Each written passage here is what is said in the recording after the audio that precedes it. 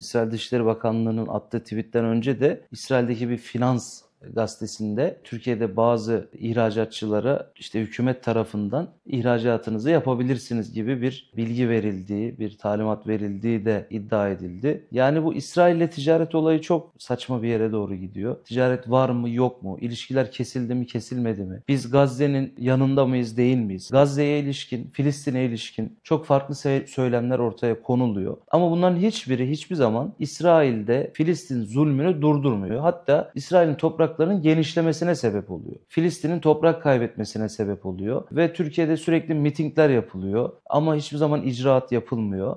Sözde kalan, lafta kalan şeyler oluyor.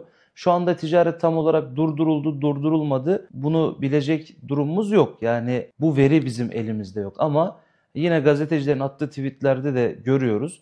E, dün de mesela İsrail'e 4 tane geminin yola çıktığı Türkiye'den e, haberlerde görüldü. Veya ondan önceki gün Mısır'a doğru giden bir ticaret gemisinin işte Akdeniz açıklarında rotasını İsrail'e döndürdüğü haberleri çıktı. Dolayısıyla ticaretin durdurulup durdurulmadığı Arap saçına döndü. Benim şahsi kanaatim Sayın Erdoğan ne İsrail'e ne Amerika'ya ne Avrupa'ya hiçbir şekilde sert ve dik bir duruş ortaya koyabilecek durumda değil. Zaten bizim eleştirdiğimiz de burası. Türkiye'nin bütün gücünü, bütün devlet imkanlarını yabancılara, yandaşlara peşkeş çeken, kapatan, yok eden bir iradenin e, bugün kalkıp da bir dış etkene karşı dik bir duruş sergilemesi mümkün değil. Sadece lafta kalır, sözde kalır.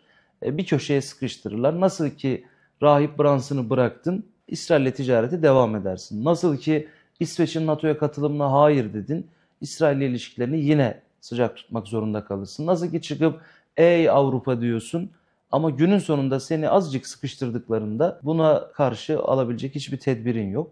Direkt teslim olmak durumunda kalıyorsun. Çünkü adam bir tuşla beraber 1 dolar karşındaki Türk lirasını 30 liraya indirebiliyor, 35 liraya çıkarabiliyor, 40 lira yapabiliyor, 50 lira yapabiliyor. Çünkü senin bununla mücadele edecek bir rezervin yok. Senin bununla mücadele edecek bir ihracatın yok. Cari açın fazla. Yani sürekli açık veriyorsun olağanüstü derecede kendi ekonomik koşullarına göre. E onun yanı sıra dövizi satın alıp TL'yi bir yerde tutabilecek, pariteyi bir yerde tutabilecek bir döviz rezervin yok. E, ondan sonra dışarıdan sana muhtaç oldukları bir dışarı sattığın bir mal ortada yok. Aslında var da bunları sana muhtaç olduğu gibi ortaya koyamıyorsun. Yani buna şöyle örnek verebiliriz. Biz şu anda fındık ihracatını durdursak dünya çikolata sektörü ciddi problem yaşar. E, veya biz bor ihracatını durdursak dünyada işte birçok e, teknoloji üretiminde problem yaşanır. Ama biz bunları hiçbir zaman kullanabilen bir durumda değiliz. Teslim durumdayız. İsrail'le ihracatın da, İsrail'le ticaretin de durdurulup durdurulmadığı hususu bir Arap saçı e, ama hükümetin bunu yapabilecek bir gücü de yok. Yani durdurdum der bir hafta, 10 gün, bir ay, iki ay. İşte adalar işgal edildi falan gündemleri vardı. Ama şu an e, iklim gayet ılıman gidiyor. Bunu nasıl değerlendiriyorsunuz? Yani olan bizim adalarımıza oluyor. Olan bizim kara parçalarımıza oluyor. Olan bizim deniz e, kıta sahanlığımıza oluyor hemen çok yakın vadede ey müçetakis bir gece ansızın gelebiliriz. Esad'a aynısı, işte Irak'a aynısı. Herkese karşı bir dik duruş gibi. Maksat burada işte vatandaşı bir şekilde eylemek. Vatandaşı bir şekilde susturmak, durdurmak, e, baskılamak, e, işte isteyeceği şeyleri duymasını sağlamak. Ama günün sonunda olan Türkiye oluyor. Yani ne Doğu Akdeniz'de istediğini alabiliyorsun, ne Ege'de istediğini alabiliyorsun, ne Karadeniz'de istediğini alabiliyorsun hiçbir yerde istediğini alamıyorsun. E çünkü Erdoğan böyle bir şahsiyet, böyle bir kimlik. Yani esip gürlemesi çok yoğundur ama ondan sonra güçlü olan Erdoğan'ın elinden istediğini alabilir. Yunanistan'la ilişkimiz de bu şekilde. Biz tabii komşularla ilişkimiz kötü olsun niyetinde olan e, düşünceye sahip bir fikir yapımız yok. Komşularla ilişkimiz iyi olsun. Bunda bir problem yok ama Yunanistan'la iyi olan ilişkiler Esad'la niye kötü? Yani bu önemli bir soru. Mesela bugün Libya'da hala siyasi istikrar sağlanamadı. Libya'daki istikrarsızlık Doğu Akdeniz'de bizi etkiliyor. Ama Libya'nın bu istikrarsız sürece girmesinin temelinde de yine biz varız. Yani bizim siyasi tercihlerimiz yani Yunanistan'la ilişkimiz iyi ama Libya ile kötü. Yunanistan'la ilişkimiz düzeliyor ama Suriye ile kötü. Dolayısıyla bütün bir coğrafyada, bütün komşularla ilişkimizin iyi olması gerekiyor.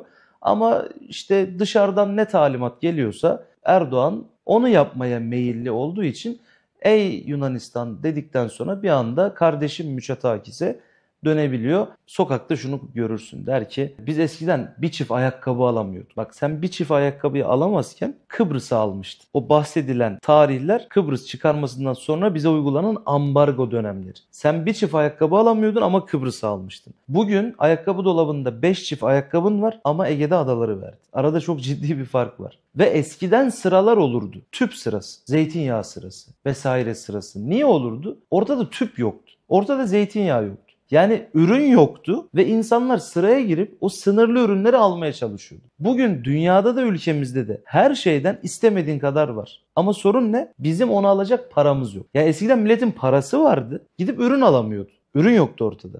Şimdi milletin parası yok. Ortada ürün var. Dolayısıyla sıraya giriyor ki ucuzunu bulayım diye. Ki oradaki trajik durumlardan biri ucuz ete karşı değilim. İnsanlar sıraya da girmiş olabilirler. 83. kişide sıra bitiyor. Yani 83 kişi et alıyor. 84. içeri giriyor. Bitti diyor stoklar tükendi. Yani 83 kişilik bir ucuz et arzı ortaya koyuyor et ve süt kurumu. Yani herkese de bunu vermiyor. E bu olacak iş değil. Yani 2024 yılında 21. yüzyılda Türkiye Cumhuriyeti Devleti'nde olacak iş değil. Bak şu anda bunları yaşıyoruz. Allah göstermesin. Bir savaş geçirsek neler yaşarız? Ya yiyecek ekmek bulamayacak noktaya geleceğiz belki de. Bunlar tehlikeli. Bunun sorumlusu da iktidardır, hükümettir, ekonomi politikalarıdır. Ve Türkiye'nin ekonomi politikaları dikiş tutmuyor zaten. Yine dikiş tutmayacak. Çok işte Mehmet Şimşek'ten beklentiler var ama Mehmet Şimşek her gün kredi derecelendirme kuruluşlarından işte puanımız 11 yıl üstüne BB idi, BB Plus oldu. E bak ben size bir şey hatırlatayım. 10 sene önce, 15 sene yani 12-13 sene önce Erdoğan kredi derecelendirme kuruluşlarına sen kimsin diye çıkışıyordu. O derecelendirme kuruluşlarına da biz para veriyoruz. Bizi derecelendir diye. Ya sistem de bu. E ben gidiyorum JP Morgan'a para veriyorum. Beni denetle diye. O bana puan verecek ki yabancı yatırımcı bana para versin. Para verdiğim kuruma diyorum ki sen kimsin? Verme para. Denetlemesin. Ne olacak ki? Bak görüyor musun yalanı, dolanı, hikayeyi? E şimdi Mehmet Şimşek-. Tabii canım Mehmet Şimşek'le dolaşıyor. İşte derecelendirme kuruluşlarından artı aldık. IMF'den aferin aldık. İşte Körfez ülkeleri bizim başımızı okşadı. Abi kimse kimsenin bu dönemde başını bedavadan okşamıyor. Kimse kimseye bedavadan aferin vermiyor. Bunu bilin. Yani hiç kimse senin kara kaşına, kara gözüne evet sen çok iyi ekonomi yönetiyorsun sana bir C plus diye bir şey yok abi. Ne var biliyor musun? Evet kıvama geldin. Şimdi ben senin kaynaklarını, iş gücünü, işte zenginliklerini her şeyini sömürebilirim. Al sana bir artı diyor. Alttan malı amuduyla götürüyor. Sistem bu. Sistemin kurulu olduğu düzen bu. O yüzden o aferinlere, o derecelendirme kuruluşlarının yüksek puanlar vermesine kimse aldanmasın ki Türkiye bundan çok daha yüksek puanlara sahip olan bir ülkeydi. 10 sene önce de 15 sene önce de günün sonunda geldiğimiz nokta ortada. Bugün de geleceğimiz nokta bugünden daha kötü bir nokta olacaktır. Net bilgi olarak yazalım. Atın fava bekleyin. Teşekkür ederim başkanım.